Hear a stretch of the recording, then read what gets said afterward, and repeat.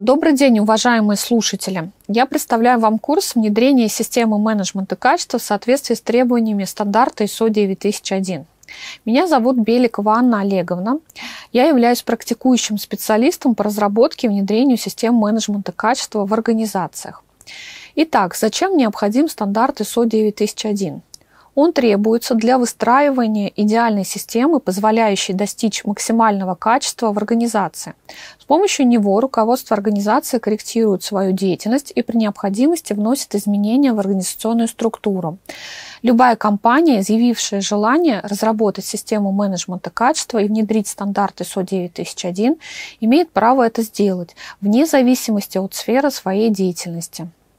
Из данного лекционного материала вы узнаете следующее – преимущества разработки и внедрения системы менеджмента качества. Что такое стандарт ГОСТ РСО 9001-2015 и откуда он появился? Получите информацию по терминологии данного стандарта, изучите требования стандарта ISO 9001 и рассмотрите пояснения к требованиям стандарта. Приятного просмотра!